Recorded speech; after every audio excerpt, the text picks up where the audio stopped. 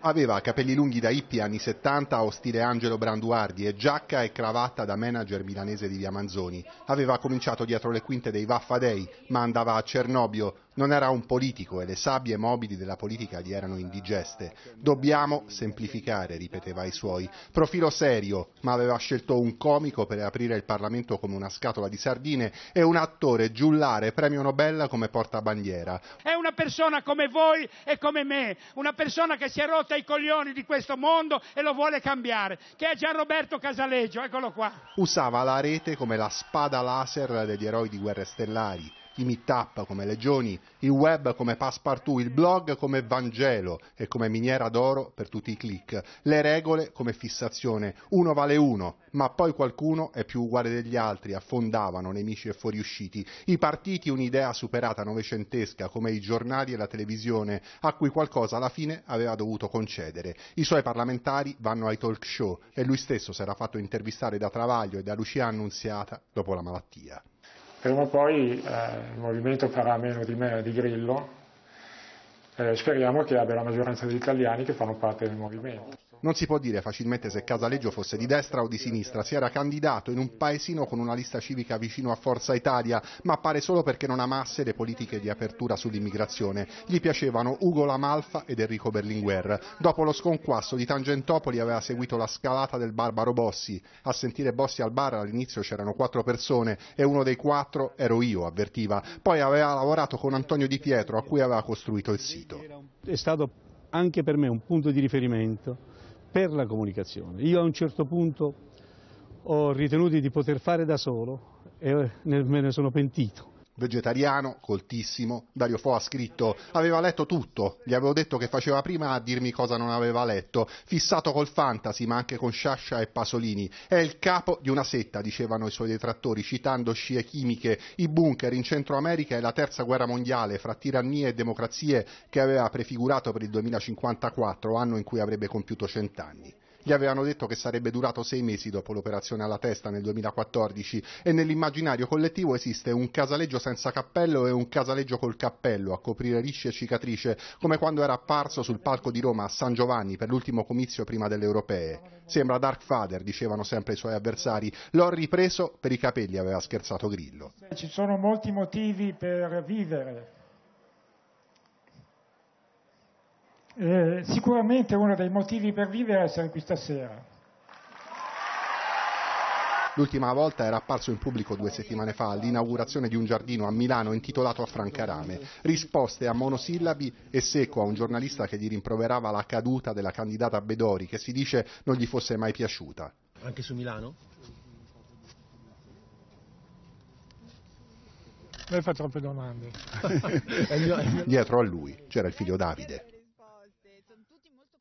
Buongiorno, allora eh, poteva piacere oppure no come capita a tutte le grandi personalità, questo era, questo è stato Gian Roberto Casaleggio, eh, scomparso ieri a metà eh, mattina, i funerali ci saranno domani, adesso eh, come potete immaginare si apre eh, da una parte eh, tutto il discorso che riguarda l'eredità, il movimento, che cosa accadrà. Innegabile è che Gian Roberto Casaleggio è stato naturalmente il fondatore insieme a Beppe Grillo del Movimento 5 Stelle e, di lui insomma, e del suo movimento molto probabilmente fra molti anni si, si parlerà, si continuerà a parlare e ad analizzare un fenomeno, un modo di fare, di comunicare e di eh, vedere il mondo e perché no anche la eh, politica eh, che insomma, ci ha portato e costretto un po' tutti a eh, avvicinarci a questo movimento, a cercarne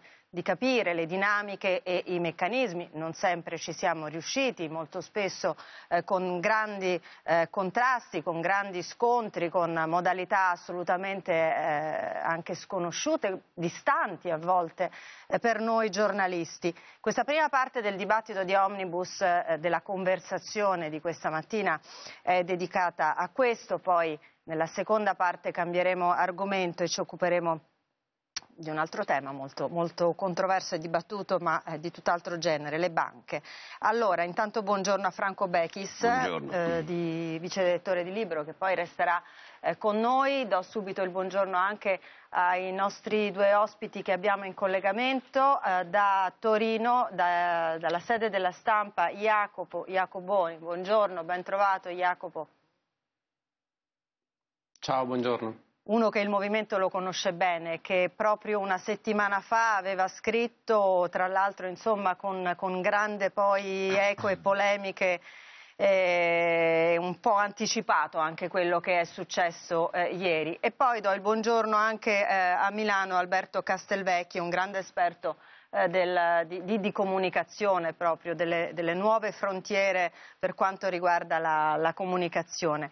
Buongiorno a voi. Jacopo, io eh, vorrei cominciare da te, ho accennato no, di, di, questo tuo articolo una settimana fa che, che, ha creato anche tanta polemica, discussione, attrito, insomma quando tu hai raccontato di un casaleggio arrivato allo stremo eh, che non ce la faceva più e, e, appunto si iniziava a intravedere dietro eh, la figura di, di Gianroberto Casaleggio eh, in maniera sempre più definita naturalmente eh, quella del figlio Davide e adesso oggi tu scrivi un articolo che, che, che, il titolo è questo, il patto tra il figlio Davide e Di Maio, ma la partita è il controllo dei server. Che cosa vuol dire?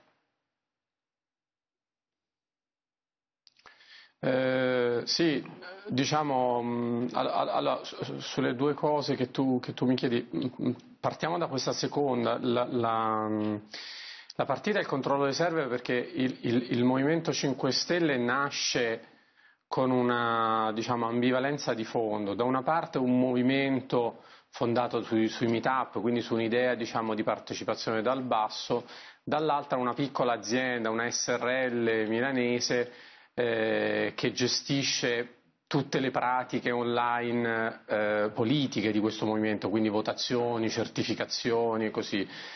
Loro hanno sempre detto che le due cose, loro alla Casaleggio, che le due cose erano separate e che non c'era nessun legame tra le attività diciamo, economiche dell'azienda e quelle politiche del movimento.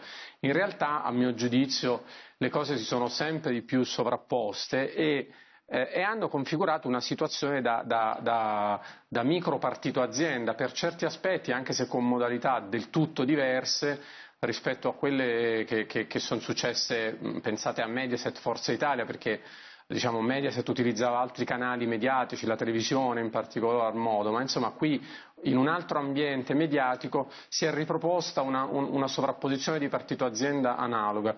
Quindi perché eh, diciamo, io dico che il controllo dei server adesso è la chiave della partita? Perché è, è una cosa abbastanza eh, oggettiva, cioè eh, Casaleggio aveva affidato già, già in vita l'azienda al figlio che, che, che, ormai da parecchio tempo eh, prendeva tutte le decisioni, gestiva tutte le, le riunioni, a lui venivano smistate tutte le cose aziendali ma anche le riunioni politiche, cioè quando salivano diciamo, parlamentari importanti alla Casaleggio, sostanzialmente avevano a che fare con, Davide, viste le condizioni di, di, di salute di Gian Roberto.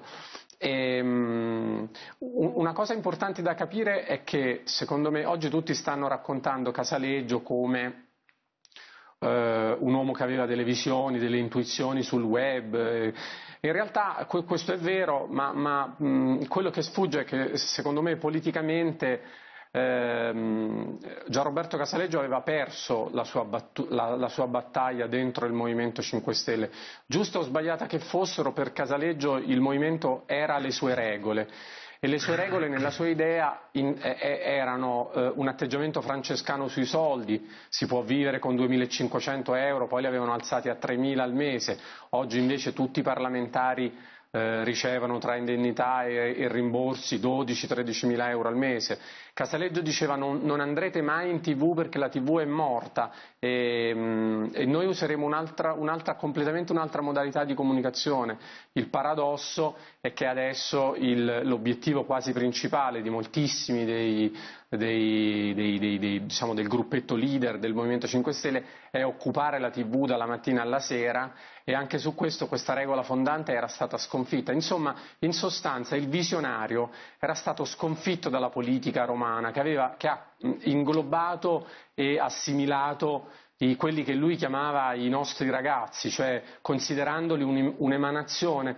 L'errore politico che ha fatto Casaleggio è pensare che eh, eh, lui li aveva creati e lui li poteva smontare in qualsiasi momento, cioè che fossero fungibili, uno vale uno, ma all'interno però della logica di una diciamo, gestione di ultima istanza che sarebbe toccata a lui comunque.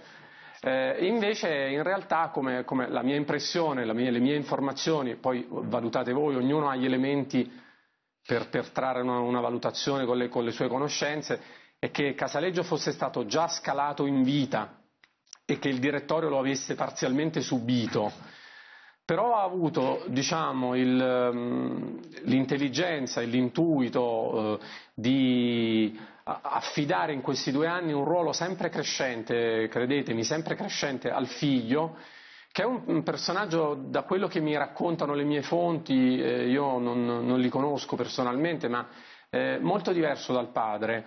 Eh, non è appassionato di politica come lo era il padre, che pure però era, è rimasto fino in fondo un impolitico, cioè una persona incapace di gestire la mediazione e anche quella parte diciamo, nobile di relazionalità che comporta la, la politica, però proprio questa assenza rende il figlio più freddo, meno emotivo, per certi aspetti eh, non, non, so se dire meno manipolabile, ma insomma un osso, un osso per certi versi più duro per Di Maio di quanto sicuramente non lo fosse il padre, nella, specialmente nella fase finale della sua, della sua parabola.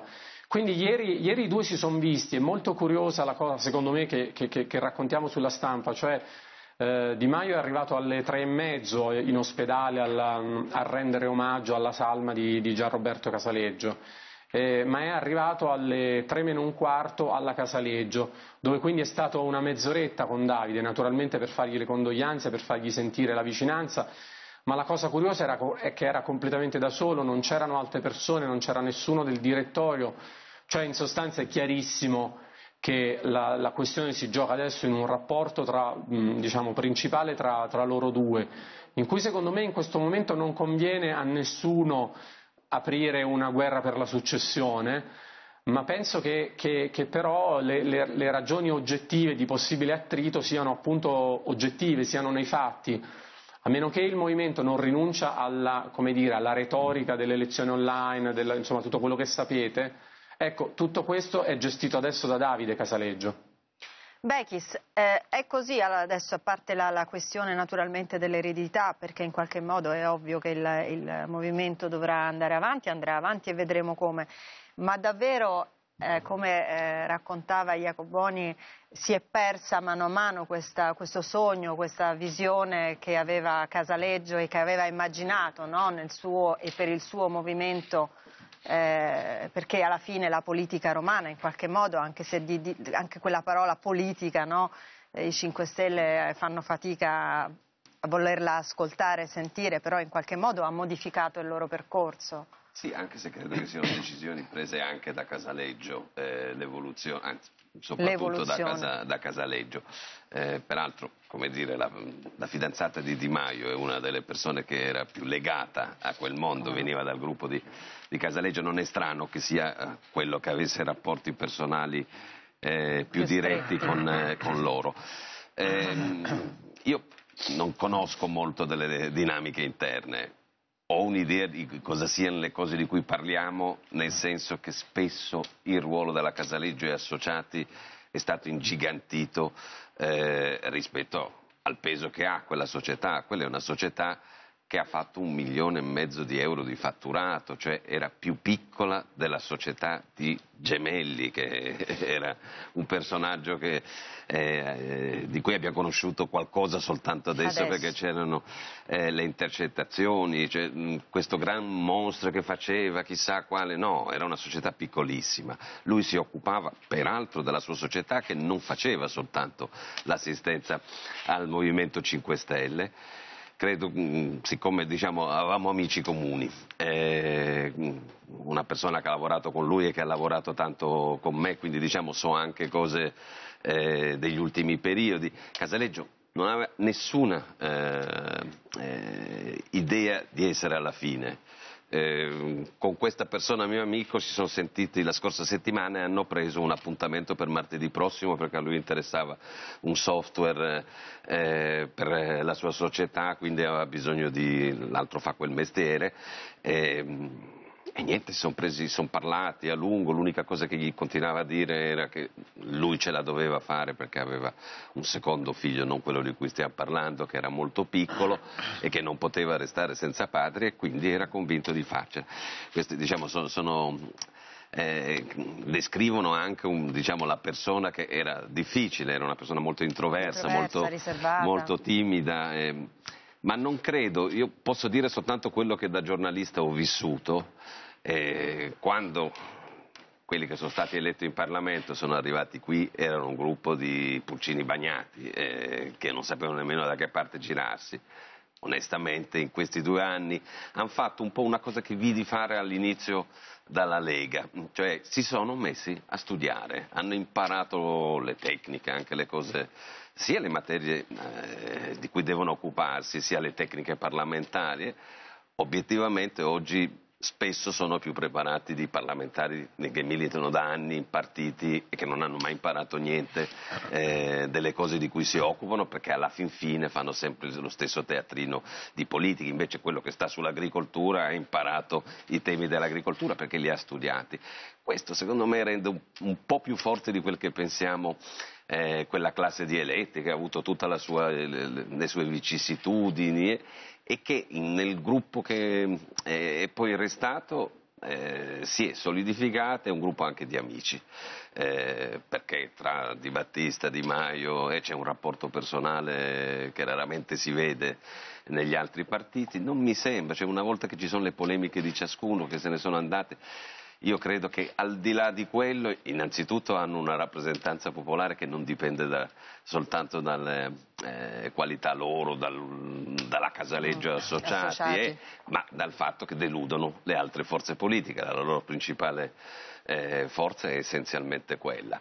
Tutti avremmo scommesso che non l'avrebbero tenuta quella rappresentanza popolare, e invece l'hanno tenuta, secondo me parte per merito loro, molto per demerito eh, delle altre forze politiche che man mano oltretutto si sono liquefatte come nel caso del centrodestra, semi scomparse, hanno deluso anche quelle del centro-sinistra che erano partite su grandi aspettative che sono state un po' deluse diciamo, man mano che si andava avanti e quindi sono rimasti loro e secondo me rimangono. E rimangono, sì. ecco. Castelvecchi, eh, Casaleggio creando questo movimento lo ha fatto volutamente attraverso uno strumento, no? che è quello eh, della rete, eh, naturalmente con Beppe Grillo che da anni, ancora prima che nascesse il Movimento eh, 5 Stelle, parlava nei suoi spettacoli della rete e ci ha costretti a eh, comunicare con loro, a conoscerli, a sperimentarli e ad accettarli attraverso eh, la rete, no? con le candidature online, con le selezioni online, con eh, appunto tutto quello che necessariamente doveva sempre passare per la rete e per l'online. Qui sì, eh, introducendo un elemento nuovo nel panorama politico.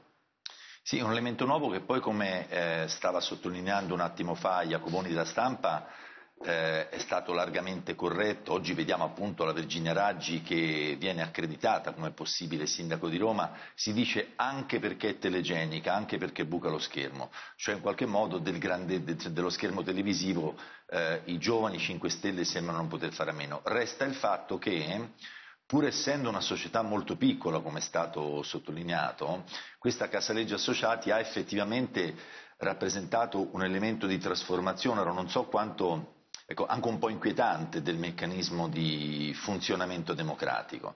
Cioè, eh, se noi tutti siamo inquietati del fatto che con la riforma elettorale praticamente le liste elettorali vengono composte dalle segreterie di partito, beh, qui siamo al fatto che le liste elettorali vengono composte sulla base di eh, talvolta delle primarie, delle quirinarie, delle referendarie, chiamatele come volete chiamare, il cui meccanismo però di controllo resta opaco. Cioè Casaleggio è stato sicuramente un genio rivoluzionario e visionario che ha affermato il potere di Internet eh, quasi fideisticamente, cioè anche laddove nei numeri per esempio si vedevano candidati che hanno 400 voti, che poi vengono quindi piccoli numeri rispetto ai numeri di massa a cui ci abitua Internet. Però è anche vero che qualche cosa rimane molto opaco nella gestione appunto del, del per esempio tutte le volte che ci sono dei, dei, voti che vengono espressi sulla piattaforma online di Casaleggio, gli analisti eh, fanno notare che manca una società terza di certificazione. Insomma, ci sono un po' luci ombre in questo, in questo uso di internet, ma d'altro canto è internet che è uno strumento ambiguo perché io ricordo anche negli anni 90 quando venne annunciato che internet avrebbe portato la grande liberazione nei meccanismi di funzionamento della politica, c'era anche chi diceva attenzione che come tutti gli strumenti, come tutti i media, e eh, bisogna vedere come lo si usa. Resta un po' diciamo, questo, questo, sottofondo di opacità e il fatto che i meccanismi di controllo del consenso, dei processi, delle espulsioni, delle polemiche, dei post eh, gestiti dalla Casaleggi Associati non è un meccanismo trasparente. Non credo che le cose da questo punto di vista miglioreranno molto con il figlio eh, Davide. Diciamo, da, Davide e Gianroberto sono molto molto diversi, ma l'introversione e il poco contatto con i media eh, generalisti sono una caratteristica che è comune a padre e figlio. Un po' più di trasparenza gioverebbe. Poi da un punto di vista diciamo, proprio di internet e del funzionamento del movimento politico, ecco, credo che questa sia in questo momento una prova, adopera un po' un parolone di quelli che usano i professori di adultità, cioè di età adulta proprio per i Di Maio, e Di Battista e Fico, cioè per il mm. gruppo, anche la Raggi che è la candidata a sindaco di Roma, eccetera, eccetera, eh, Marcello Petitti che è stato il capogruppo consigliare eh, 5 Stelle a Roma. Cioè sono tutte persone che in qualche modo vengono da un'esperienza non politica e adesso hanno conquistato un grande seguito popolare. Eh, io ho l'impressione, su questo sono d'accordo assolutamente con il vice direttore di Libero che l'ha detto molto bene, che il seguito popolare, il seguito popolare del 5 Stelle sia più denso, sia più... Mm. cioè tutte le volte che c'è un nuovo fenomeno politico fu così per Berlusconi, è, è stato così per Beppe Grillo, è stato così per la Lega. Di fatto questi grandi movimenti politici, questi, quando ci sono molti eletti in Parlamento, è perché si intercetta un desiderio reale che c'è nel Paese. Nel esatto. caso di Berlusconi erano i cosiddetti berluschini, lo ricordiamo tutti, c'è un ceto economico che voleva rappresentanza politica. Nel caso della Lega lo abbiamo visto, la Lega aveva una base popolare immensa, ha una base popolare forte. La mia impressione è che noi, è chiaro che eh, guardiamo molto al potere di Casaleggio e della Casaleggio Associati oggi, eh, però non sottovalutiamo il seguito popolare, cioè che in effetti Grillo e Grillini con il loro atteggiamento un po' da secchioni, come dire, io soprattutto mi riferisco ai giovani, cioè questi giovani secchioni che vanno in Parlamento e si mettono a studiare, piacciono molto proprio perché sono volti nuovi. E, e, e poi anche perché trovano le cose, insomma, diciamo, è, il loro lavoro di spulciare e andare a trovare. Lo abbiamo visto e verificato negli ultimi mesi. Ci fermiamo per la pubblicità, poi torniamo.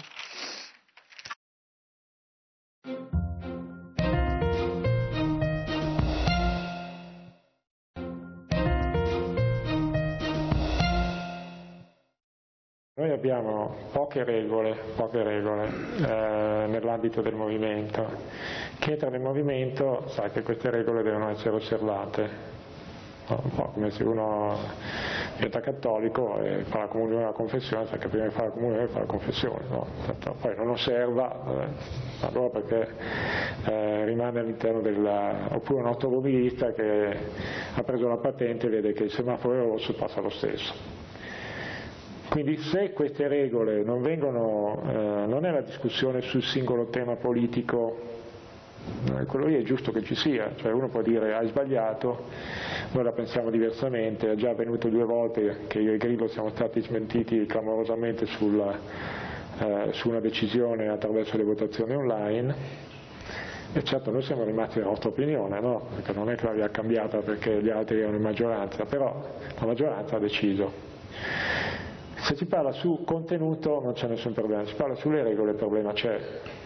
Se uno entra in un club eh, inglese, in questo club è obbligato ad andare con giacca e cravatta e quel giorno lì va senza la cravatta, viene accompagnato alla porta. Allora, questo era un pezzettino di un'intervista che Travaglio fece appunto a eh, Casaleggio. Jacopo, è il punto sulle regole, no? queste regole che poi eh, quasi quotidianamente sono state un tratto distintivo, lo sono tuttora del Movimento 5 Stelle, regole fissate, regole però poi a volte rimesse in discussione, come raccontava eh, Casaleggio eh, è capitato che durante appunto, le, le, le, le, votazioni, mentre si chiedeva il consenso del, del popolo, dei militanti online, eh, loro abbiano avuto delle diverse opinioni rispetto a Grillo Casaleggio. Le regole è stato ed è e continuerà, chissà, ad essere un elemento così stringente nel Movimento 5 Stelle, il tratto distintivo per eccellenza. Ma eh, appunto questo, mi fa piacere Gaia che avete fatto vedere questo, queste frasi, queste riflessioni di Casaleggio, perché le regole fondamentali del Movimento 5 Stelle, dal punto di vista appunto non del contenuto dell'azione, ma delle regole, del metodo di lavoro, erano tre. Uno, i soldi, e come ho detto. Due, il doppio mandato. Tre, i media e la TV. Non si va assolutamente in TV. Due di queste regole sono state già clamorosamente infrante, quindi se Casaleggio ehm, avesse potuto eh, applicare eh, il, il il, dire, le, le, linee guida che esponeva lì in quell'intervista a Travaglio dovrebbe constatare lo scacco di questa, sua, di questa sua cosa. La terza regola, quella sul doppio mandato, cioè il fatto che gli eletti del Movimento 5 Stelle a qualunque livello, da quelli territoriali a quelli politici, possono fare due mandati e, e, e devono andare a casa, questa è una regola che resiste eh, a me risulta che sia stata sottoposta a una certa torsione anche interpretativa perché eh, inizialmente si pensava che il doppio mandato fosse da intendersi anche se magari che ne so, una legislatura fosse durata due anni e l'altra tre, si andava comunque a casa. Invece adesso eh, si sta affermando un'interpretazione prevalente che il doppio mandato coincide con dieci anni diciamo, di attività politica. Fatto sta che comunque il, il, il grande punto politico è stato l'attacco a, a, a, queste regole. Da questo punto di vista io penso che paradossalmente eh, un Movimento 5 Stelle senza Casaleggio sia molto più spendibile dal punto di vista romano e dell'assimilazione dall'omologazione. Eh, anzi io, io, ho l'impressione che ehm, dire, il sistema politico abbia ehm, demonizzato Casaleggio proprio per assimilare e per eh, inglobare dentro di sé e quindi diciamo, smorzare qualunque velleità di reale cambiamento delle, delle sue creature. Questa è, mia, questa è, la mia, lettura. Quindi io penso che eh, appunto proprio l'aver rinunciato alle regole li rende in tutto competitivi con eh, il resto della classe, della classe politica, ecco, magari un po' più nuovi, un po' più giovani e così.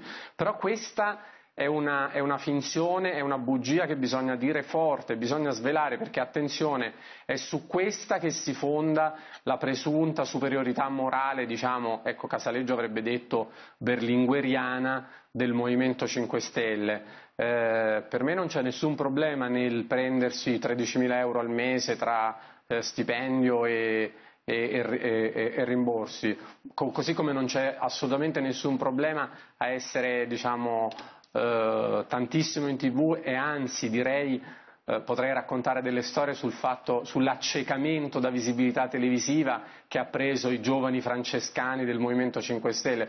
Ve ne racconto solo una perché è troppo bella ed è una polemica pubblica diciamo, assolutamente non smentibile. Il capo della comunicazione del Movimento 5 Stelle, che curiosamente è un ex del Grande Fratello, quindi è un personaggio eminentemente televisivo, disse una volta ad un allora capogruppo tu non vai in televisione perché sei brutto.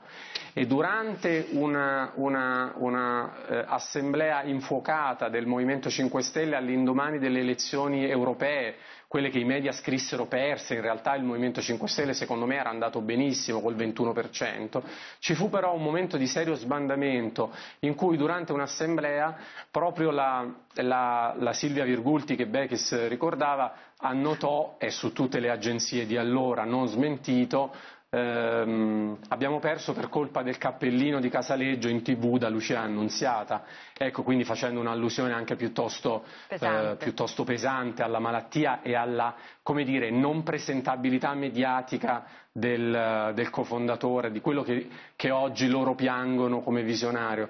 Quindi ecco, secondo me se il giornalismo libero non mette le mani dentro queste contraddizioni non fa un buon servizio. Cioè, io, io penso che lo standard che che io credo che, che e, diciamo, e chiedo che venga applicato a Renzi, secondo me va applicato anche al Movimento 5 Stelle nel momento in cui diventa un movimento sistemico. Bechis, le regole, quelle regole che eh, poi ci hanno portato anche fino a ieri no, a vedere un altro capitolo, quello delle espulsioni, perché per stare dentro eh, le regole eh, del movimento eh, di volta in volta appunto si decidono espulsioni oppure no, ieri c'è stato un ricorso e ieri insomma alcune espulsioni, il ricorso è stato vinto da chi era stato espulso, ma insomma si ha il caso quarto per esempio, no? anche lì il, il rispettare delle regole che poi è vero, magari di volta in volta un pochino forse si sono riadattate secondo le, le, interpretazioni, però è un punto di forza di questo movimento. Di Battista che probabilmente era il candidato più voluto e più forte per Roma, non ha potuto candidarsi e non ha voluto perché lo statuto dice che non si può. Eh, sì, È infatti così. hanno rispettato questa regola. Eh, qualche regola evidentemente eh. riconosciuta c'è, altrimenti un giudice non può riammettere in una competizione privata se non esiste come dire, un canovaccio di regole degli espulsi da quella competizione come è avvenuto come ieri. È avvenuto Quindi ieri. evidentemente qualche punto di riferimento se un giudice è in grado di giudicare, altrimenti deve astenersi no? da una vicenda del genere. Le regole sono state sempre un po' confuse, eh, nel senso che mi ricordo anni fa feci un'inchiesta e notai la prima cosa, che non è vero che il Movimento 5 Stelle non prendeva dei fondi pubblici, perché i rimborsi eh, ai consiglieri regionali, ai gruppi dei regionali, erano fondi pubblici e di fatto dei finanziamenti a una forza politica, che anzi oggi quel tipo di fondi sono la maggior parte dei finanziamenti esistenti pubblici a, a forze politiche, cioè i fondi ai gruppi parlamentari di Camera, Senato. E... Lo feci, era in Emilia Romagna. Eh, notai una certa ingenuità, nel senso che è vero, loro rendicontavano nel dettaglio le spese. Non avrei mai trovato in un partito politico la nota cena con rappresentante dei servizi segreti, perché nessuno avrebbe messo fuori una fattura eh, del genere al mondo. L'aveva fatta il consigliere regionale dell'Emilia Romagna. Quando feci quel, quell'articolo raccontando le loro spese mi hanno linciato proprio. Eh, è finita che hanno espulso entrambi i due consiglieri che, che c'erano anni dopo, ma insomma allora ero eh, nel mirino del Movimento 5 Stelle per averlo detto. Nello stesso modo vedo che oggi hanno sulla parte economica un po' di confusione. Non è vero che prendono 13.000 euro come dice lui, il problema è che utilizzano i fondi di rimborsi spese per giustificare una cosa per cui non sono nati, cioè per pagare diciamo, l'attività non politica. Prendo... No, scusami, è importante eh. perché vengo molto. Eh. Scusami, siccome vengo attaccato su questa cosa, sì. non è detto che prendono, che si mettono in tasca, loro ricevono tra ricevono, eh, tutti l'indennità di cui restituiscono 1.700 euro e i rimborsi, in una media ricevono 10.000 euro di rimborsi con giustificativi vaghissimi e generici, tipo che ne so, 5.000 euro per viaggi e collaboratori, cose così. Quindi da questo punto di vista loro, eh, eh, diciamo, quello che, che percepiscono è assolutamente in linea con tutti gli altri parlamentari, dico semplicemente questo, ah no, allora, non che prendono, lì dentro ci sarà anche una parte Jacopo, di intendiamoci, spese, ecco, nessun parlamentare può rifiutare di prenderli, perché eh, le regole sono quelle, quindi a chiunque va l'indennità integrale. Poi diciamo è una sua decisione, ne do metà in beneficenza, no, no, è una parlando, decisione. Parlando, no, scusami eh. Franco, eh. Sto parlando della somma tra indennità e rimborsi. Sì, sì, sì, I rimborsi Tutti i parlamentari prendono la stessa cifra, non è che uno può prenderne un po' meno. Date, Lo so, tutti i parlamentari prendono la stessa cifra. La dico in, eh, mm. in soldoni, sono 5.000 euro circa di indennità parlamentare, 3.500 euro di diaria per il rimborso di spese di soggiorno a Roma, che caso unico nei parlamenti internazionali, eh, viene assegnato anche a chi era residente a Roma prima delle elezioni e quindi non ha nessuna spesa eh, maggiore per stare a Roma, 1100 euro circa medie al mese di rimborso per taxi, diciamo, mezzi di trasporto per raggiungere l'aeroporto più vicino con cui andare a Roma, anche quei 1500, 1100 eh? euro vengono dati ai romani, e poi circa 4.300, 4.600 a seconda se sei Camera o Senato, di rimborsi per le spese di segreteria, portaborse, eccetera. Tutti li prendono quei soldi. Poi il Movimento 5 Stelle ha come regola che parte dell'indennità viene ah, data a un fondo eh, salva imprese. Ma il problema, scusami, sui rimborsi, scusami Franco, sì. è, è verissimo. Il problema è che si era detto eh, bastano 2000, noi prenderemo 2.500 sì, sì, sì. euro e al mese. Li giustificano con una cosa e, che secondo me è impropria. Cioè, quelli sono fondi che dovrebbero rimborsare le spese del parlamentare, i suoi collaboratori lì, se uno di loro va a fare un comizio per sostenere il candidato del 5 Stelle a Napoli, lo utilizza i rimborsi eh, spese date al parlamentare per pagarsi quel comizio, cioè un'attività che altri partiti diciamo, pagano a carico del partito eh, del politico. Partito sul Movimento 5 Stelle non abbiamo particolare trasparenza sull'attività economica del Movimento 5 mm. Stelle, non abbiamo un bilancio eh, certificato, loro dicono che non sono ehm, dovuti a farlo perché non prendono dei rimborsi pubblici o appena finito di dire che in realtà li prendono, mm. perché prendono i fondi di rimborsi ai gruppi sia in Parlamento nazionale che a quelli regionali, secondo me quella è una lacuna gra grave non avere un bilancio certificato che, che... per far capire anche ai loro militanti qual è il flusso eh, politico, ci saranno magari dei, dei, finanziamenti, magari microfinanziamenti dei sostenitori, ma non c'è un rendiconto complessivo di questo. E, mm, diciamo, questo è una cosa sicuramente da, da, migliorare. Per il resto le regole erano anche un po' prudenziali, cioè quello che abbiamo appena sentito dire su Casaleggio, eh, il reato di immigrazione clandestina. Grillo e Casaleggio erano contrari, fanno la votazione in rete, avessero dominato come dei mostri la votazione in rete, quella votazione in rete avrebbe dato ragione a loro due e invece, invece gli ha dato no. torto. Quindi questa invasività dell'utilizzo della rete non è così, è dimostrato eh, dai fatti. Poi hanno fatto lo stesso come volevano loro, perché dopo un po' di tempo poi la linea sull'immigrazione è diventata è cambiata, la linea di, di tutto il Movimento 5 Stelle, perché in quel momento era popolare quello, quindi diciamo, quella era una cosa fatta come fanno i politici eh, tradizionali.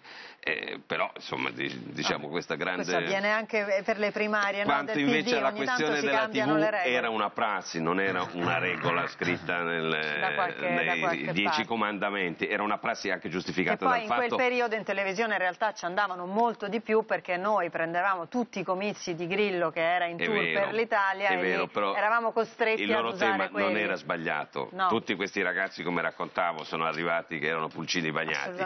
Non erano in grado di affrontare perché non erano competenti sulle cose. crescere e Quando cambiare. sono diventati competenti l'hanno potuto fare, ma comunque sono sempre un po' resti andare nel talk show dove c'è il dibattito eh, con l'avversario politico. Eh. Diciamo Anche oggi vanno in finestre loro, dove loro... ci sono solo loro, semmai qualche domanda di un giornalista, è difficile che facciano. Però Bechis diciamo che questo lo abbiamo visto come meccanismo e modalità anche per i partiti cosiddetti eh, normali e anche per personaggi sì, sì, sì, di altro è livello è che a volte ti chiedono crescita appunto chi c'è, chi non c'è, con quella. chi possa. Castelvecchi, eh, adesso resta indubbiamente o torna Grillo no? che aveva deciso di fare quel passo di lato.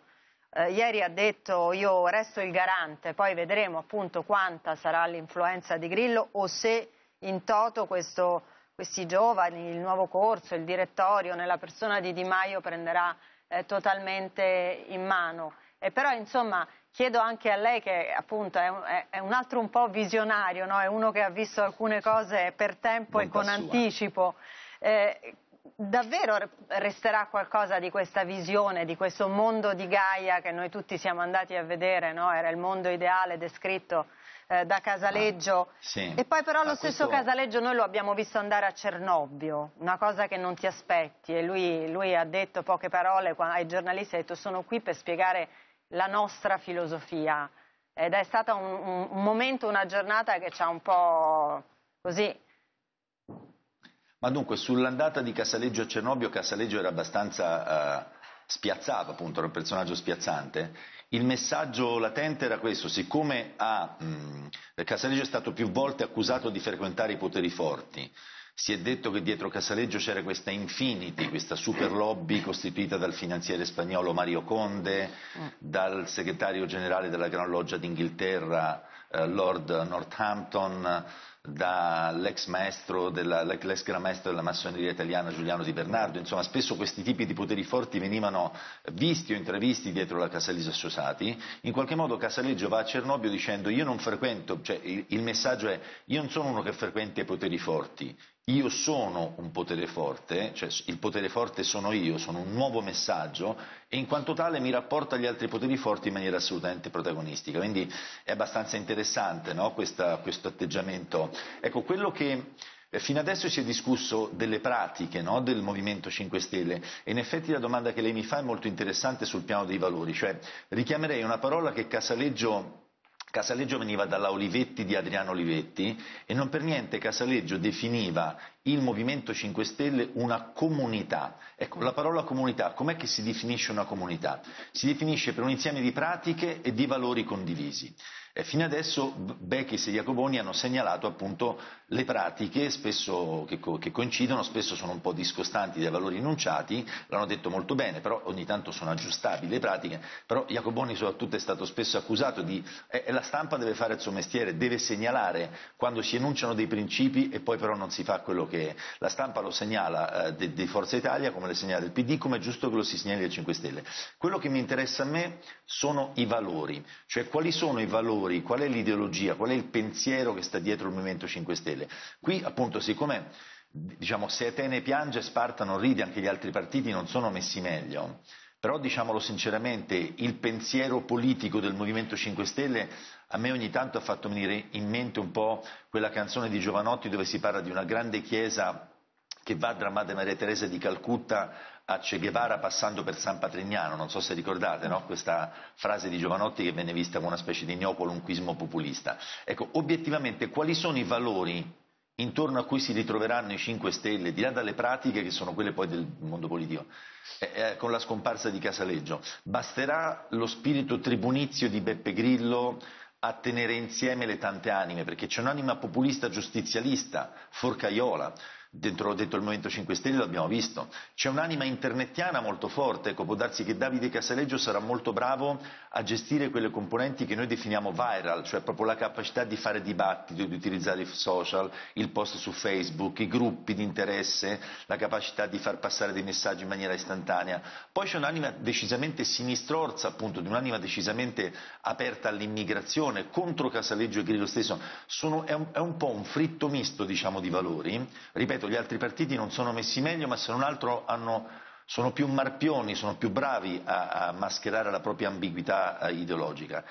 Il Movimento 5 Stelle appare come un grande magma che intercetta un grande desiderio popolare di protagonismo, effettivamente ha avuto successo in una cosa, cioè nel portare uomini nuovi e volti nuovi nella vita istituzionale e questo può darsi anche che sia un bene, e però obiettivamente tutti ci chiediamo le pratiche le stiamo vedendo, sono un po' traballanti, ma quali sono i valori intorno a cui si troveranno? Allora, mh, mm, ci salutiamo per questa parte eh, guardandoci un'ultima clip di, dei due fondatori del Movimento 5 Stelle, Casaleggio e Beppe Grillo, insieme sul palco, un palco importante, quello di eh, Roma e di Piazza San Giovanni, per la chiusura della campagna elettorale per le eh, elezioni del 2013. Poi andiamo in pubblicità, intanto io ringrazio Castelvecchi e Jacoboni, Bechis rimane con noi. Vediamo. Io parlo poco, quindi stasera è una delle pochissime volte in cui mi vedrete parlare.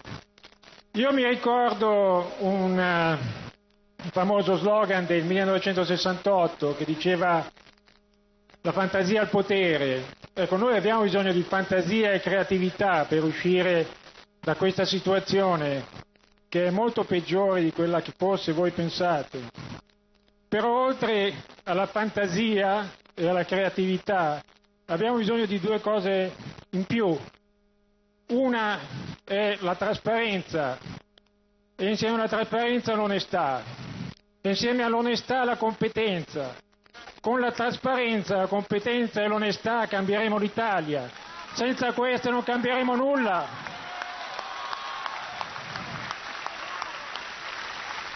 Poi volevo dirvi un'altra cosa.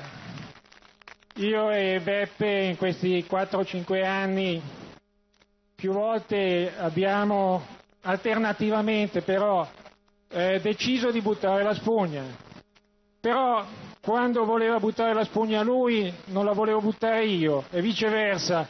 E quindi siamo arrivati fino a qui, fino a stasera. Grazie a tutti.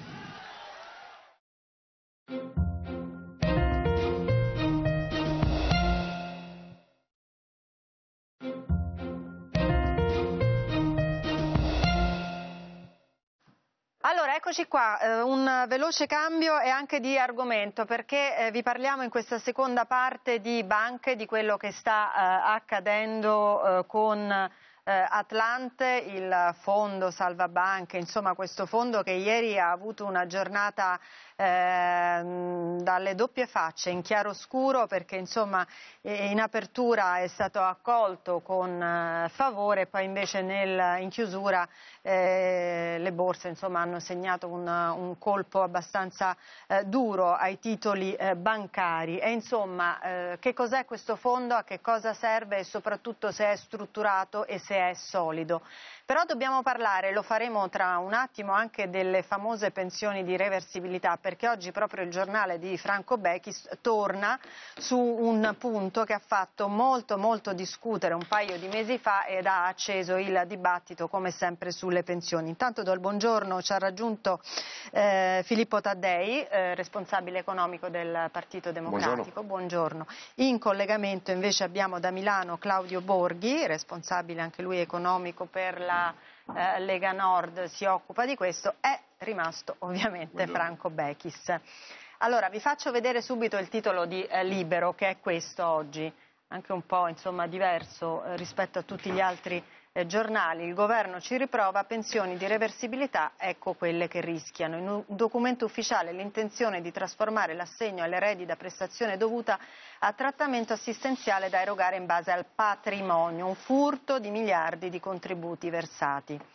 Allora Taddei ci rifiamo oppure no? Perché per farla breve noi naturalmente come molti altri ne abbiamo già parlato nei mesi scorsi, a questo punto eh, che cosa eh, raccontano i cronisti? Che sono due i documenti ufficiali in cui apparirebbe lo stesso chi lo chiama refuso, chi lo chiama errore tecnico come Poletti, insomma la stessa frasetta che però fa saltare sì, sulla, sulla sedia. Una, eh, citano quello perché a scoprire quell'errore, a dire la verità, è stato un eh, dirigente di quel partito, Cesare sì, Damiano. Damiano eh, come no, nella prima notato, puntata sì. Eh, ma no, anche questa volta anche qui sì, perché il tema qual è? Le pensioni di reversibilità sono oggi un istituto di natura previdenziale. Nel documento dove dicono dobbiamo razionalizzare previdenza e assistenza, le chiamano di natura assistenziale. Quello sarebbe il refuso, eh, che fa scattare tutte le ipotesi che eh, sono state fatte, perché chiamarle di natura assistenziale prevede un altro tipo di eh, trattamento. Questa era l'osservazione di Damiano, su questo la risposta è stata si tratta di un refuso. Di un er- sì, o di un errore tecnico. Di ma, che si tratta? Ma guardate, non ci risiamo semplicemente perché non c'eravamo neanche l'altra volta. Eh, stiamo alle parole, poi naturalmente stiamo all'interpretazione. Il, non c'è nessuna intenzione di ritagliare le pensioni di reversibilità, non c'è nessuna intenzione di tagliare alcuna uh, pensione di questo Paese. Questo, tutto questo non, non, c'è, non sta nemmeno scritto da nessuna parte.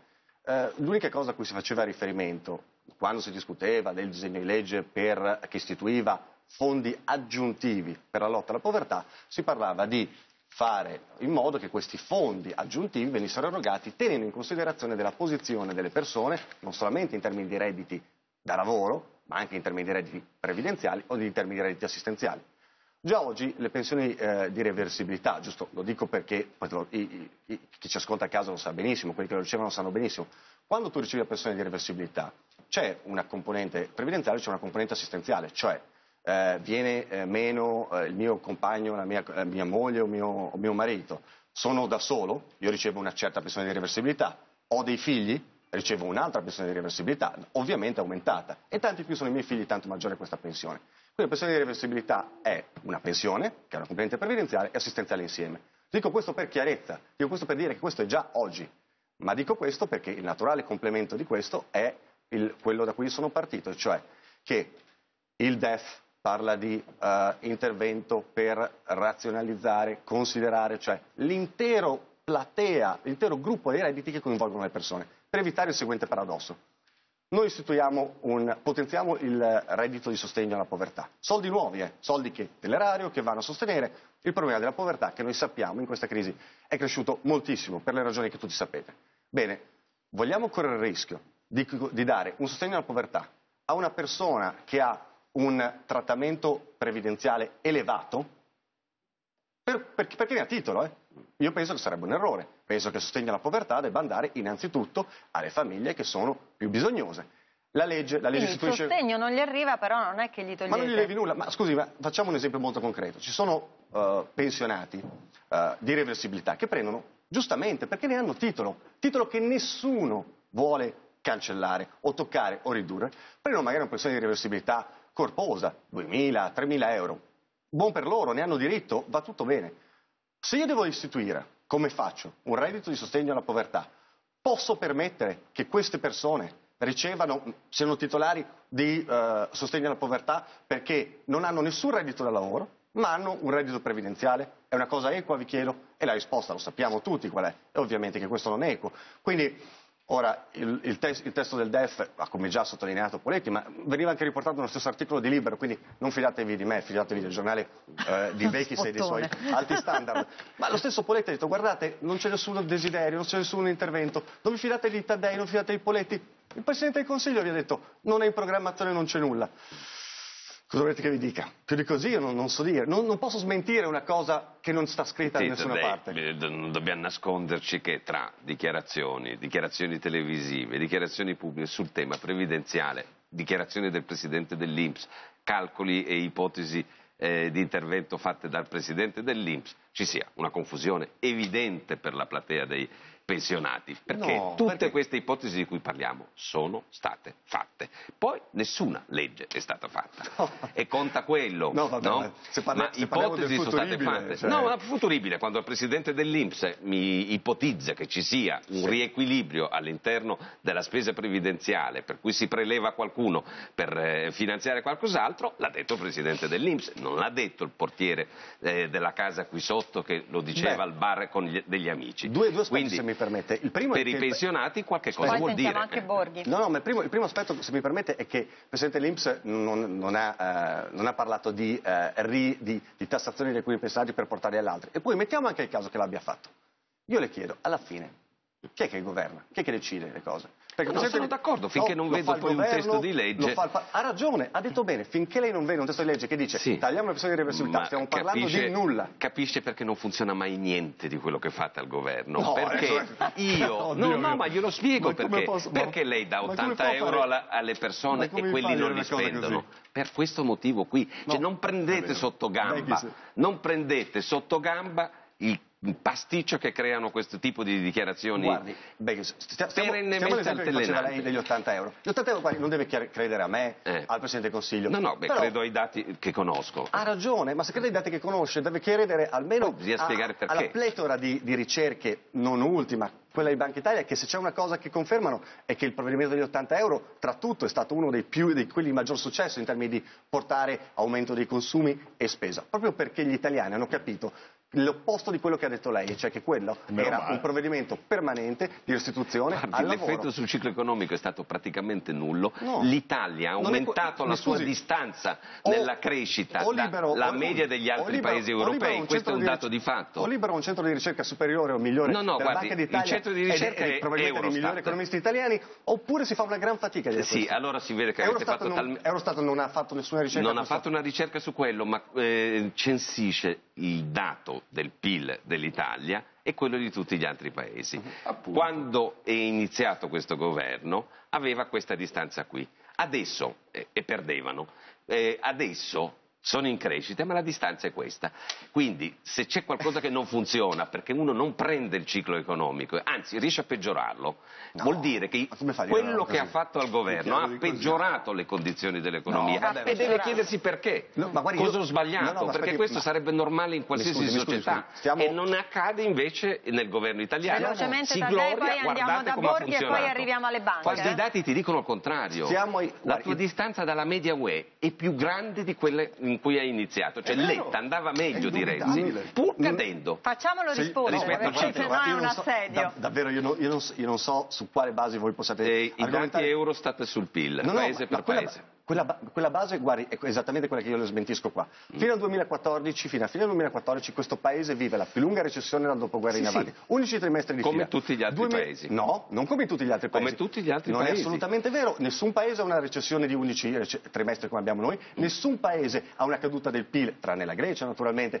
forte come la nostra. Quindi noi siamo un'eccezione straordinaria. Il 2015, dato in controtendenza rispetto all'Italia dei, primi, dei precedenti due anni e tre trimestri, lì, quelli, rispetto a quell'Italia l'Italia lì fa un punto di svolta. Ora io mi scusi ma dico, tra almeno il più no, io dico subito più, è falso questo. Dicembre, anzi gennaio 2014 scusi. Italia su 28 paesi dell'Europa era 22esima oggi è 25 qual è la metrica? Qual è il punto di riferimento? 22 in quale classifica? Ma PIL che? Eurostat. PIL che? Ma, ma, Eurostat che? Uh, PIL per capita, no. PIL reale, no, no, PIL no, crescita? No, variazione Dico... del prodotto interno lordo anno su anno. Guardi. Quindi mese dello stesso anno precedente. No? Gennaio 2014 su gennaio 2013. Guardi. La classifica, l'Italia era 22esima su 28, quindi ha ragione lei, non è che stava facendo miracoli.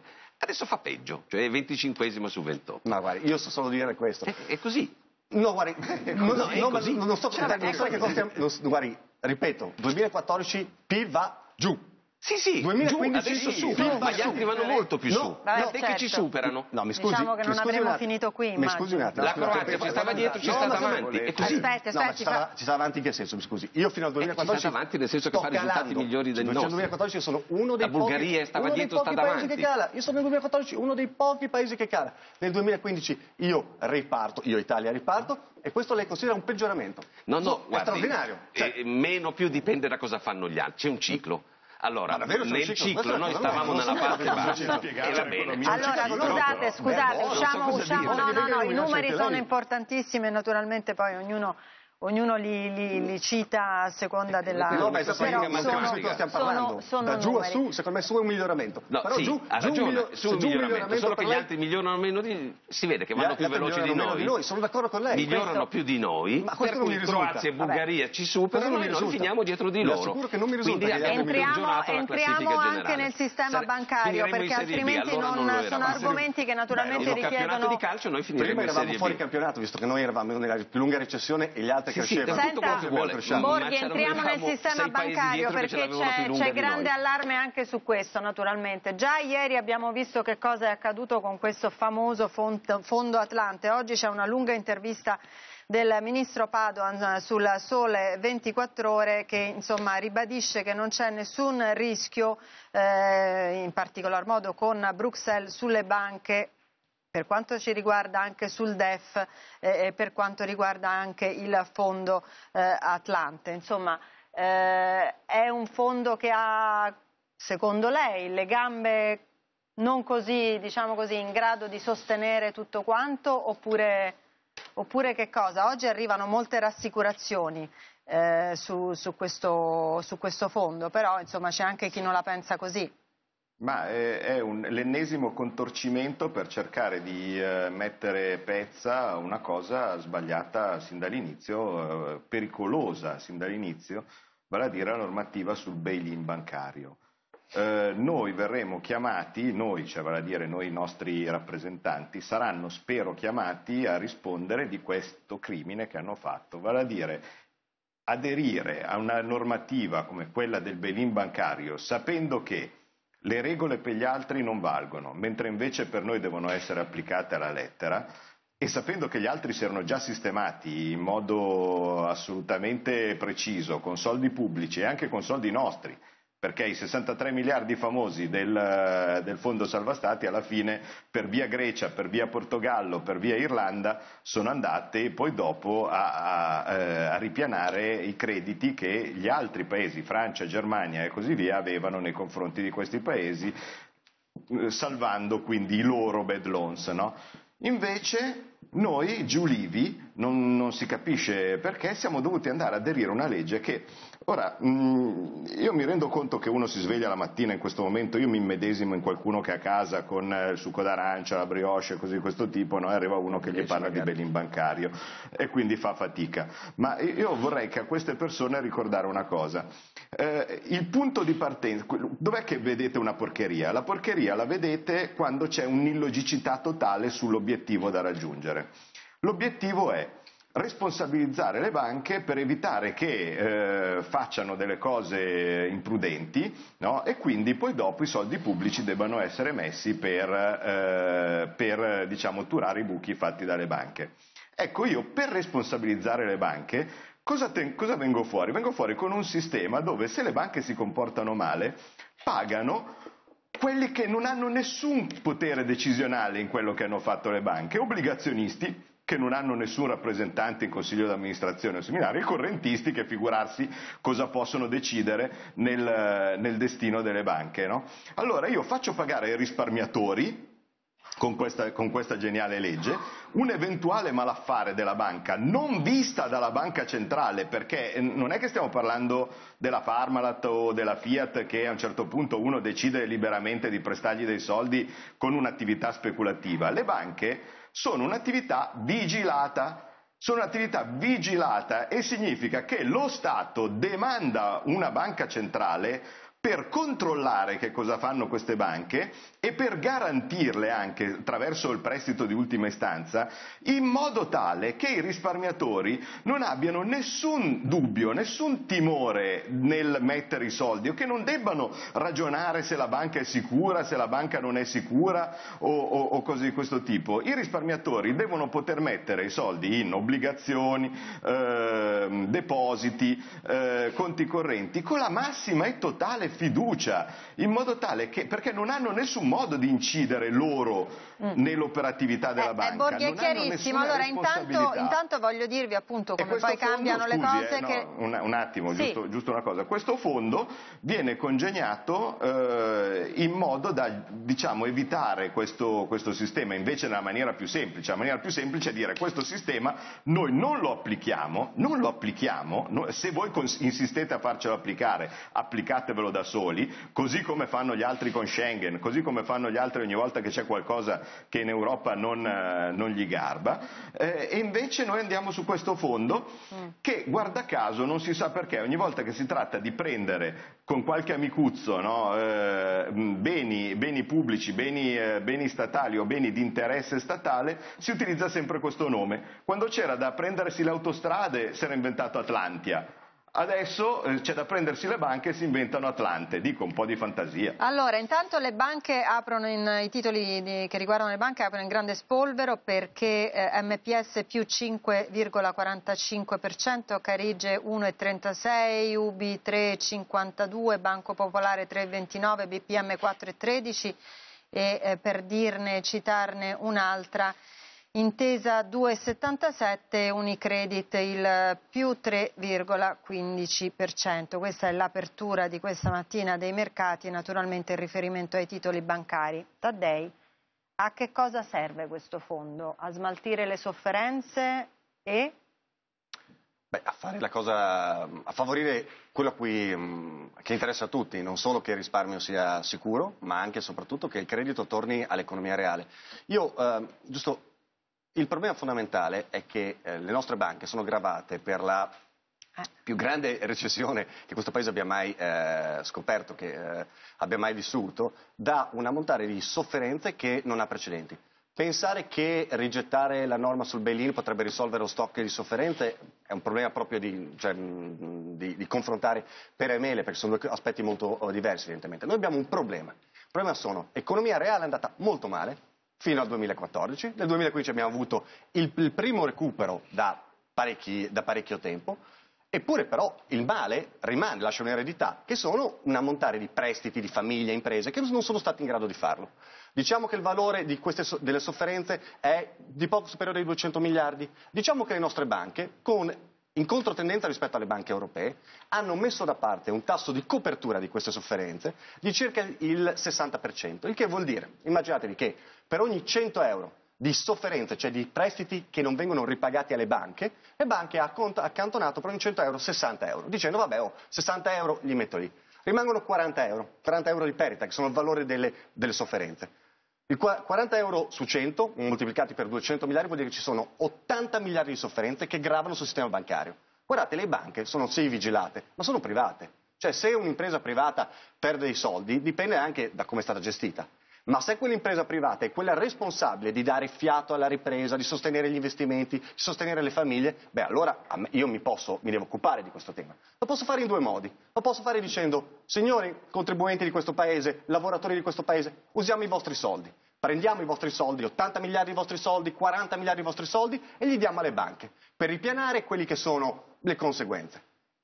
Il governo ha deciso di fare una cosa diversa ha deciso di dire no, no, noi, noi, possiamo fare, noi, possiamo fare, questo intervento utilizzando i soldi delle banche stesse, cioè facendo in modo, nel caso della, dell'intervento sulle quattro banche, quello del, nove, del, 22 novembre scorso, utilizzare i soldi delle banche. I soldi delle banche sono i soldi dei risparmiatori? No, attenzione, i soldi no. delle banche sono i soldi di, degli azionisti. Lo racconti agli obbligazionisti subordinati di Etruria, Banche Marca? Lo racconti, a tutti, quelli, lo racconti a tutti quelli che avrebbero che potuto... hanno usato i soldi Lo racconti a tutti gli altri obbligazionisti che sono stati salvati, quelli senior, tutti i correntisti che sono stati mm. salvati, tutti quelli che avevano un prestito no, no, quelli li avete uccisi voi con no. la decisione presa dal governo italiano che non c'entrava niente col bail-in. Avete promesso no, di aspetti, rimborsarli aspetti, perché, eh, entro gennaio. Adesso arriviamo anche al rimborso. No, no, poi arriviamo al rimborso perché è importante. Certo, naturalmente. Quelle quattro, banche stavano morendo. Stavano morendo, il governo interviene per salvare fidi, prestiti di quelle, di quelle, banche, posti di lavoro in quelle banche e in ultima istanza sì. la possibilità di almeno preservare alcuni obbligazionisti e correntisti, cosa che senza l'intervento del governo non sarebbe avvenuta, per quelle quattro banche andavano a fondo. Questo è il primo punto. Poi c'è il tema sistemico. Rimangono 80 miliardi di sofferenza che non cioè, ha a che fare con quelle quattro banche. il valore assoluto, aspetti, aspetti. Fare le banche 80 miliardi, Borghi, Borghi, lo ascoltate in religioso, in religioso silenzio, vi faccio la stessa cortesia. E 80 miliardi abbiamo lì di, so- di, sofferenze che sono da recuperare. Se io non correggo il problema delle sofferenze, non riporto il credito all'economia reale e questo paese non sostengo la ripresa. Allora noi cosa, cosa facciamo? Diciamo, le banche, il sistema bancario di questo paese può fare un'operazione industriale, quella del fondo Atlante, che usa solo denari privati non soldi dei contribuenti, non soldi dei lavoratori, non soldi dei pensionati, denari privati del sistema bancario per fare un'operazione industriale di ristrutturazione di quello che è un problema industriale del settore bancario. Trop- le banche con troppe sofferenze non fanno credito all'economia reale, alle famiglie e alle imprese. Io, policy maker, persona che si occupa di politica pubblica, ho quell'obiettivo, fare in modo che le banche, il sistema bancario, sostenga la ripresa. Ci sono solamente due possibilità. O diciamo ai, ai cittadini, utilizziamo i vostri soldi come contribuenti, cosa che noi non facciamo, oppure diciamo al sistema bancario risolvete il problema e noi vi diamo gli strumenti per risolverlo meglio. Questo fondo cosa fa? Dice le sofferenze bancarie vengono messe sul mercato. Una parte di queste sofferenze vengono messe sul mercato in maniera rischiosa. Le compra il fondo. Una parte, quelle cosiddette dei tranche senior, viene messa sul mercato garantita dal, eh, dal, dal, dalla garanzia pubblica, garanzia pubblica, approvata attraverso la procedura con Bruxelles. A questo punto hai un insieme, un intervento a tutto tondo che ha la possibilità per la prima volta di mettere in sicurezza il sistema delle sofferenze bancarie. Per fare che cosa? Per fare in modo che le banche tornino a essere un lavoro noioso, che dà prestiti alle famiglie, che dà prestiti alle imprese e che e smettiamo di parlarne. E chi ce no, invece no, ne parliamo scusi, dopo la pubblicità, dopo la pubblicità ne privati. torniamo. Eh, no, ma scusi, sono soldi mi diceva che c'erano delle perdite. Se vuole usare i soldi dei lavoratori è liberissimo, ma non lo facciamo noi. Anche perché non lo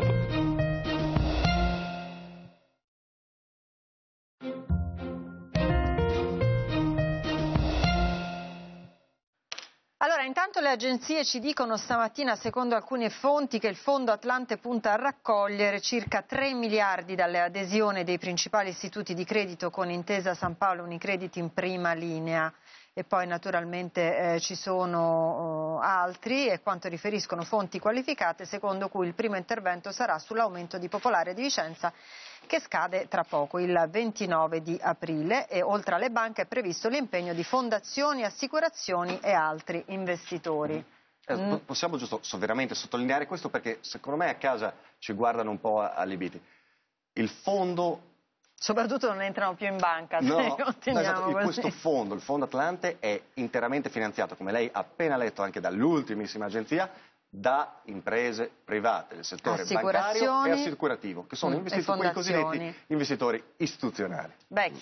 Cioè, anche non perché, ripeto, non potrebbe essere altrimenti, altrimenti perché certo. esistono dei vincoli comunitari per cui non poteva metterci del capitale eh, pur avendoci provato, eh, perché Tutto comunque una discussione sulla Cassa Depositi e Prestiti è stata fatta. Ma chiediamoci se è giusto per una volta, oltre che se è dovuto. È giu era giusto and veramente andare dai cittadini no, italiani no, sono d'accordo che, sono d'accordo che non è giusto, come non era giusto andarli a prendere ai risparmiatori, perché quelli che hanno salvato le banche Etruria mm. o alcuni dei correntisti e obbligazionisti di, sono gli altri. Che erano tutti. No, obbligazionisti, no, obbligazionisti è una differenza hanno salvato gli altri salvati. Tutti. Se no, no se io, l'intervento del governo. Si sono salvati da, da quelli che ci hanno rimesso, uno di questi si è tolto la vita, se non fate in fretta a fare quello che avete promesso di Adesso fare. Dopo Le assicuro che il rischio che questo si ripeta c'è perché c'è gente in condizioni disperate, è è frequentandoli sono in condizioni disperate. Le assicuro che c'è piena Forse cominciare a valutare che una piccola quota piuttosto di stare a parlarne, cioè diciamo fino a 30.000 euro piuttosto che 50.000 euro, partite con i rimborsi senza troppi arbitrati e il resto va in arbitrato perché c'è urgenza sulle vite eh, delle persone, quella è stata una scelta fatta dal governo e dalla Banca d'Italia. Ma, cosa, ma aspetti Borghi, cosa si poteva fare di diverso? Bechis, aspetti un attimo, arrivo. E quello che ci siamo ripetuti più momento. volte, purtroppo ormai, innanzitutto sarebbe bene farla la famosa commissione d'inchiesta, perché eh, qui vedremo poi di che sono le responsabilità traccia. di quel che è accaduto. Eh, certamente dagli elementi colti nell'ultimo te, la responsabilità della Banca d'Italia non è secondaria in quel che è avvenuto, Appunto. forse superiore, anzi sicuramente superiore a quella del governo, che poi diciamo un po' è stato messo con le spalle al muro sulla soluzione tecnica. La Banca d'Italia ha come responsabilità, perché aveva il commissario di una di queste banche dentro, di aver venduto a un prezzo bassissimo, proprio pochi giorni prima eh, di questa operazione, dei crediti in sofferenza al 14,6%. Come sappiamo dalla comunicazione, anzi, ha pure subito, facendo il primo della classe, è andato a dirlo al commissario UE anticoncorrenza dicendo guardate che l'operazione di mercato che abbiamo fatto è questa Così quelli hanno detto, beh, quello è il prezzo di mercato, e non era vero perché non esisteva un prezzo di mercato così in tutte le altre operazioni, è un prezzo con cui chi ha comprato ha fatto un affarone, eh, che il FONS, ma guarda caso è un eh, istituto dove ci sono, c'è una specie di, di piccolo salottino della nuova finanza, dei nuovi poteri finanziari che ci sono in Italia, ha fatto l'affarone quell'affarone l'hanno pagato gli obbligazionisti subordinati perché quella svalutazione è stata eh, presa eh, a riferimento per fare le operazioni del decreto del 22 novembre su richiesta della Banca d'Italia. Quindi in questo il governo non ha grandissime responsabilità ha responsabilità perché poi dice mi rendo conto della situazione, provvederò, sono passati un po' di mesi, bisogna mhm. farlo quello che uno... Questa, eh... questa è un'ipotesi, Aspetti, ce n'è, un'altra. Sentiamo anche Borghi sì, e poi arriviamo all'altra ipotesi. Questa è un'altra ipotesi. L'altra sì. ipotesi, c'è un'altra ipotesi alternativa che almeno do, non possiamo cancellare, e cioè che quelle banche erano in una condizione così disperata e come, quando sei disperato fai, de, fai delle cose terribili vendi le tue sofferenze al prezzo che trovi, all'unico acquirente che trovi. E questo però conferma che la condizione di quelle banche aveva la necessità, non la possibilità, aveva bisogno di un intervento che fosse urgente ed è il motivo per cui il governo è intervenuto, ripeto, con i soldi delle banche e non con i soldi dei contribuenti italiani. Borghi. È un'interpretazione alternativa. Diciamo, io sto discutendo le, le Borghi, caratteristiche Borghi. tecniche no, di quell'operazione. No, le faccio presente che una di queste banche aveva addirittura Sentiamo aperto un aumento di capitale Sentiamo anche Borghi che è in collegamento. C'erano. No, perdona per Borghi, sì. colpa mia. No, ecco, eh, allora, quello che ha detto, quello che ha detto Becchis è sicuramente giusto. Eh, il punto delle, delle sofferenze eh, E non è che sono, si sono create ieri le sofferenze, il fatto sia che sia malagestione, sia che sia invece eh, così, eh, crisi economica no? e così via, erano tutte sotto l'attenta visione di Banca d'Italia. Eh, il fatto che, cioè, non, non, è che sono arrivati a un certo punto e hanno detto, oh, incredibile, si, si, dalla mattina alla sera si sono create le sofferenze, cioè una banca non va in crisi eh, dalla mattina alla sera, se non eh, perché c'è lo tsunami o perché c'è un, un'epidemia o cose di questo tipo. Banca d'Italia vigila giornalmente la situazione delle banche. Non si può far passare l'idea che a un certo punto si sono svegliati e hanno trovato una banca in crisi. Non, non è così, cioè hanno fatto una marea di ispezioni Banca d'Italia e sono loro che hanno la possibilità di vedere come sono i conti o no. E queste banche poi hanno commissariate, quindi significa che c'era una persona di Banca d'Italia Italia lì da, da, un po' di tempo, che oltretutto dispensava tranquillità, che diceva non si preoccupi, finisce tutto fra breve, no? e così via. Ora, eh, che si faccia pagare agli obbligazionisti eh, agli, e, e, e, che si pensi in futuro di far pagare ai correntisti è un abominio. Posso, mi permetto di dare una, una, una, un'idea mia per i rimborsi, ecco, perché eh, cercando di essere costruttivo, ecco, per evitare di dire sempre no, non va bene, non va bene. Mm. Eh, il sistema per rimborsare rimborsare in modo corretto gli obbligazionisti, eh, invece eh, evitando di dare soldi, regalare soldi a chi invece comprava effettivamente delle obbligazioni a basso prezzo per speculare, eh, è quello di ridare il prezzo di acquisto. Quindi se una famiglia aveva comprato i titoli a 100, quindi quando i tassi erano bassissimi e quindi quando non c'era nessun tipo di eh, sospetto che potesse essere stata fatta per speculazione, riceve 100. Se qualcuno aveva comprato queste obbligazioni quando valevano 40 e quindi con eh, già in quel momento la consapevolezza che si trattava di una, di una cosa potenzialmente rischiosa, si ridà 40. Nessuno, eh, nessuno guadagna, nessuno prende dei soldi indebitamente da parte dei, uh, dei, uh, dei, rimborsi e si risparmia perché invece di dare eh, l'ammontare complessivo di tutte le obbligazioni si dà un quantitativo inferiore di denaro perché così si evita di rimborsare 100 a tutti anche a chi magari effettivamente quei pochi che, che erano davvero degli speculatori. È così semplice, a quel punto non, non, non ci si pensa più. Invece per quello che riguarda le azioni, perché non bisogna dimenticare anche quello, eh, se le banche davano le azioni ai propri eh, clienti facendogli credere che era una specie di prestito, una specie di pronti controtermine, perché per esempio per eh, la Vicenza oppure per Veneto Banca succedeva così, cioè il cliente veniva ingannato eh, facendogli credere che eh, le, le, azioni della banca sarebbero state ricomprate poi esattamente al prezzo a cui loro le avevano acquistate oppure a un prezzo più alto, perché non erano quotate. Cioè non c'era un... Le, le azioni dell'Etruria sì magari, ma, ma le, banche, le, le azioni delle altre banche non erano quotate. Ecco, in questo caso è una truffa, ma il fatto che Banca d'Italia fosse pienamente, pienamente consapevole, consapevole di, questa, di questa truffa comporta che la colpa è tutta di Banca d'Italia. Ma io in tutta questa cosa pagano i correntisti, esatto. pagano gli obbligazionisti, pagano i contribuenti, io non ho mai sentito una volta uno che dice paghi Banca d'Italia o paghi BCE perché Banca d'Italia e la BCE sono la stessa cosa. È chiarissimo, Borghi, oggi c'è scritto è Banca d'Italia è chiaro, Borghi. Oggi il direttore generale, oggi il direttore generale di Banca Italia su Repubblica, eh, a proposito appunto del Fondo Atlante, tra l'altro che dice le regole eh, sul bail-in hanno reso la finanza europea più stabile ammette da noi errori di eh, comunicazione, però eh, sostiene appunto che non c'è nessun pericolo per il sistema, eh, insomma, che è un sistema che eh, darà il fondo garanzie e sicurezza. Però io non vorrei, Taddei, che fossimo ancora ai suggerimenti su come rimborsare chi ha perso i soldi. Ecco, perché vorrebbe dire che siamo ancora molto lontani. Quando cominciate a rimborsare chi ha perso i propri risparmi in quelle banche? Innanzitutto un elemento di chiarezza. Se c'è una truffa, il, qualunque risparmiatore, qualunque investitore deve pensare che quella quindi un raggiro, qualcosa del tipo di, quello, eh, di sì, un'operazione sì, descritta sì. tipo quella di Borghi, ce ne sono, ce ne sono, Tante, ce ne sono altre, capita. bisogna pensare che su quello c'è già la piena tutela. Del nostro sì. ordinamento. Nel frattempo Qualunque... però non c'ha più i soldi per andare Magari. avanti e mangiare, campare. No, ma, ma, Quando capi- gli arrivano Capisco perfettamente, soldi? ma attenzione, c'è già la piena tutela, cioè tu puoi già andare, vai, fai causa e hai diritto ad avere tutto quello che vuoi.